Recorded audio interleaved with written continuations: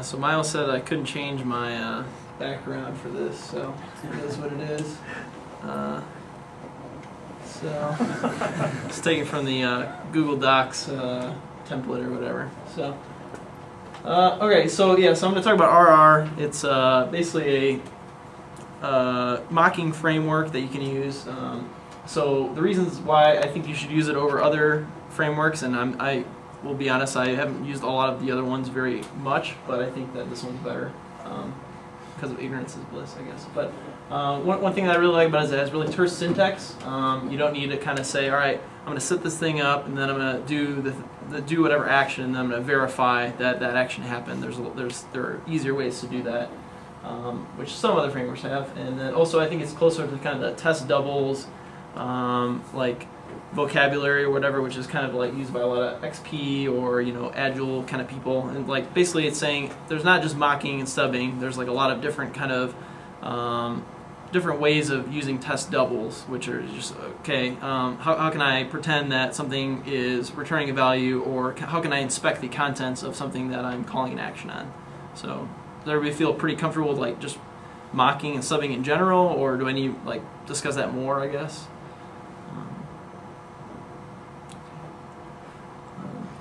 So, okay, so at the very bottom is kind of like how you would say something RR. Basically, on the user class, I'm going to call the static method find with the parameter 42, and it's going to return to me the Jane object, which I guess I've instantiated earlier.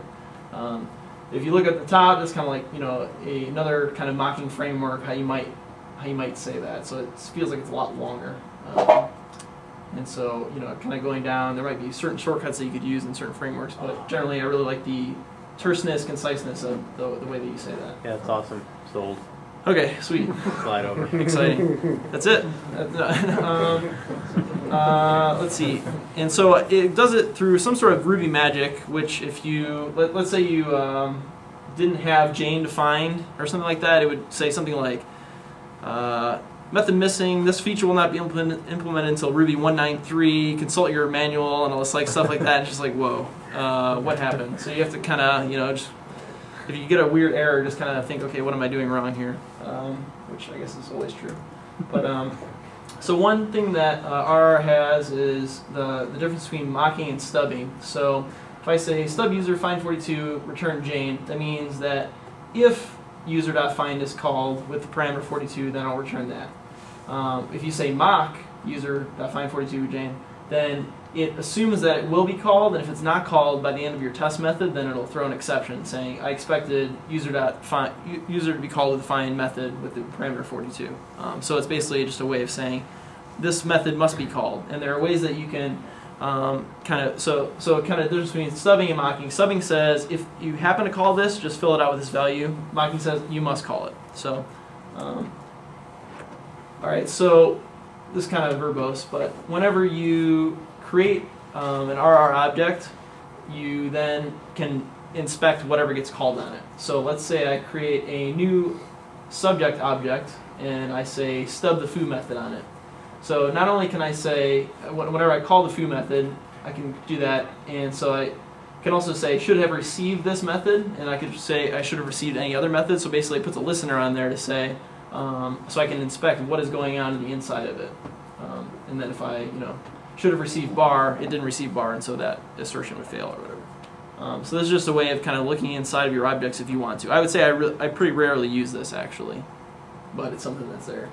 Um, so, and then one thing that I really like is that you have pretty flexible parameters. Um, so if you're not exactly sure what will be called, or you want to kind of say a general thing, so you could say um, call the foobar method with any string containing on. So you know I can uh, have several different methods use the same mock at the very beginning because they'll use some sort of you know different things with on. Um, I can say a number in the range from 1 to 10. Uh, one thing I really like is hash including. So I don't care what all the other parameters are. If you say say you're uh, testing like a controller method and you want to you know pass in to another method uh, this hash, but you really only care about one or two parameters of it, then you just say hash including that, and then you have to worry about like setting up the other eight parameters. So kind of gets back to what Kyle was saying with the, you know, make sure you focus on what actually matters in your test versus having to set up eight or nine things that don't actually matter. Um, and then also you can say, um, I want I want this certain thing to be called a certain amount of times. Um, so you can say times one, times three. Uh, one, one problem is if you say any times, that could mean zero or more times, which means that it won't actually get called if you're like so mock right. Remember, it expects um, that will called at least once, right? But if you say times any times, then it's going to say, oh, it wasn't called at all, but you said any time, so not a big deal. So I had a few things that I was like, why isn't this failing? And then I figured it out. So so now I have a times at least once matcher kind of thing. So, um, um, okay, so so I am working on a project which uh, does stuff with like Groupon and stuff like that, and so I figured, okay, I'll pull some actual examples. I feel I feel like uh, production code actually has like very little value outside of the system, so I feel comfortable showing this and apparently publishing it on the internet. So uh, anyway, so so this is like real code here, so it's kind of exciting.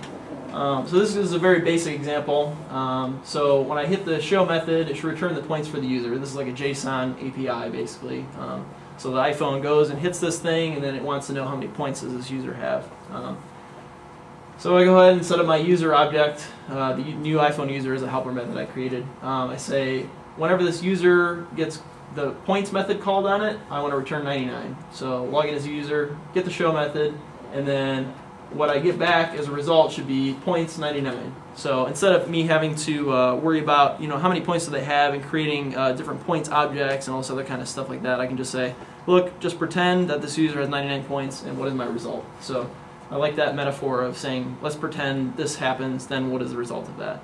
Um, so kind of another thing I like to do is, um, it's almost kind of like proof by induction a lot of times. So it's like, uh, I'll start at kind of the lowest case and make sure that that works. And then going forward, like let's say method A uses method B, um, which then use, uses method C up here. So it's like uh, if I test method A well, then when I use method B, which which uses A, then I can just say I can mock method A because I assume that it works for you know whatever cases that I've done. So I would have already tested the inputs and the outputs of A to make sure that it specifies or it conforms to a certain contract, and then basically you just kind of move up the chain. So uh, when you get to the very highest level, you can say, look, pretend that all this stuff below me works and that I'm just getting back this input so that you can decouple certain parts of your system from other parts. Um, it could blow up horribly in that, you know, if you're not sure what are the parts and the interfaces and everything like that, you know, you're you're returning something you're like oh yeah this this works perfectly but you realize like this whole module doesn't actually exist or something like that. You're just stubbing it or whatever so or mocking it. So that, that could be a big problem but uh, I don't know. So that's just kind of how I do it.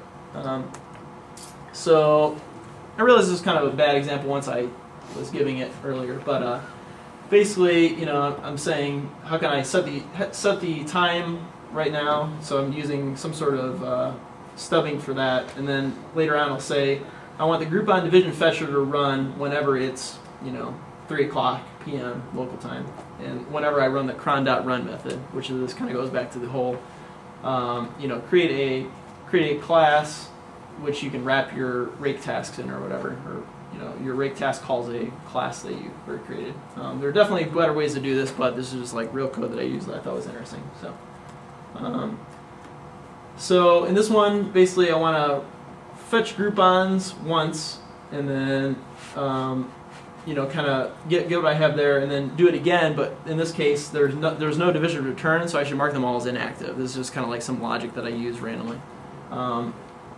And then so the count should be six, and then all the actives should be false, that sort of thing. So instead of actually having to hit this service, I can just mock it and say, look, pretend like the Groupon gave me these things back. What should I do as a result of that?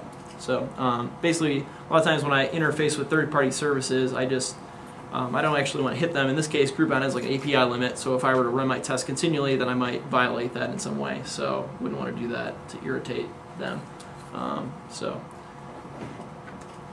I would, I would use this also like if I was using like say interfacing with Active Directory or something like that, like uh, OLAP or something like that. I think that's the right word. Anyway, um, so kind of a similar thing here. Basically, this, this, is, this is a lot of stubbing and mocking, but I'm basically testing when I call this fetch all, what actually happens here, and if so, what happens. Um, I also have like uh, where it says the, the very first the very first line there, the stub URL fetcher that fetch Groupon. So that calls something that which calls fetch, and at some point I say, if I'm trying to fetch an actual URL in the test environment, then I should throw raise some sort of exception. So basically, I don't ever actually want to hit anything externally.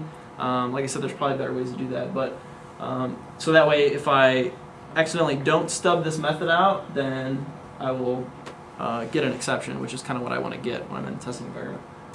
Um, so this is kind of a more complex example. I don't know if I want to go into it really, but um, but basically, um, deal implements attachment helper as a module or whatever. It, it extends it. It's, I don't know what the right nomenclature is for that, but um, and then I can use the methods on that. And so I just want to test at certain point that I call the add only new attachments with these certain parameters, which I defined earlier in the wrapper um, thing. So um, just whenever I create a deal, I add any attachments that are necessary, that sort of thing. Um, so this is one of my favorite ones. This is not anything to do with RR, but I basically, um, in if you use RSpec, if you don't have underscore spec or uh, yeah, the like the file name underscore spec.rb as your spec name, then it won't actually get automatically run if you use like Autotest or something like that. So I created a spec that would look through and find any violations of this name, naming convention, so that you could, you know, then it would say, hey, uh, you have a test that won't get run if you're using Autotest. So I just thought that was kind of interesting. Because I really got annoyed like three or four times when I would rename it the wrong way or something like that, and ah, why isn't this running? So. Um, so the original source or kind of the version that I use is right up there, so you can check it out. Um, it's a lot shorter, obviously. So let's see if I can do it.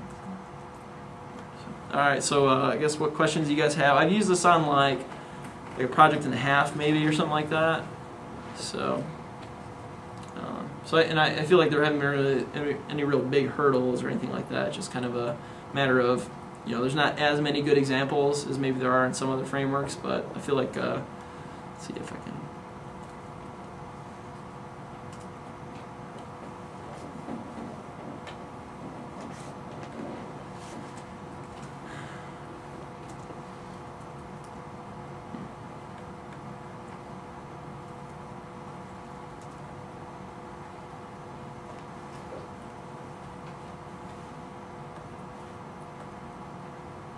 This is like the-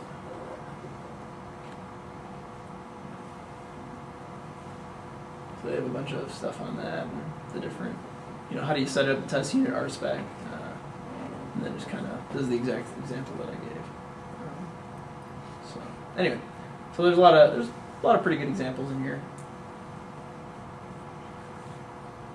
So, it's kind of interesting. I guess. Do that.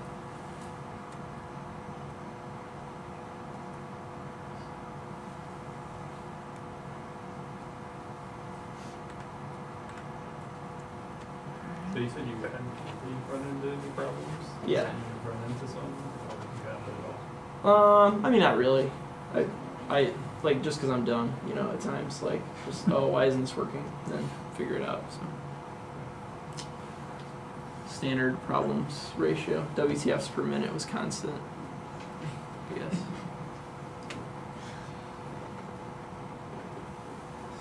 So, all right, cool. Thanks. Thank you.